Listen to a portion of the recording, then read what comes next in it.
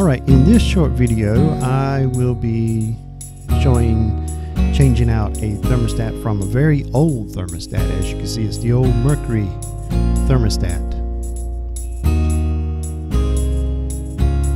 Do not see too many of these still actually around. Very few of us that's in the industry has actually seen any of these. I myself, I remember when I used to install these because I used to work for a company that uh, was dealing with nothing but Trane, and Trane has some thermostats just like that. Uh, got the thermostat off the wall. This is the April Air programmable thermostat that I'm going to install.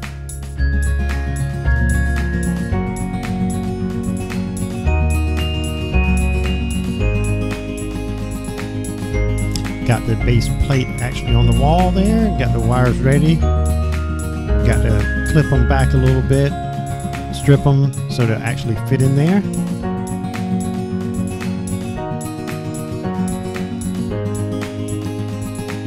Got a lot of room to actually work with the wires.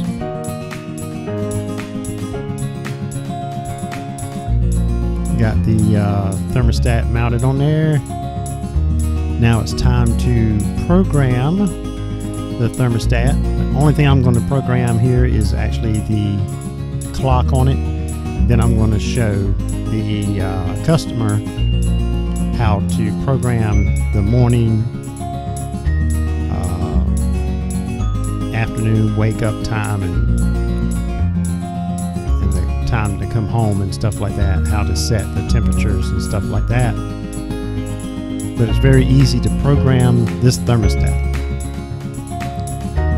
And I went through the steps with the customer, as you see here.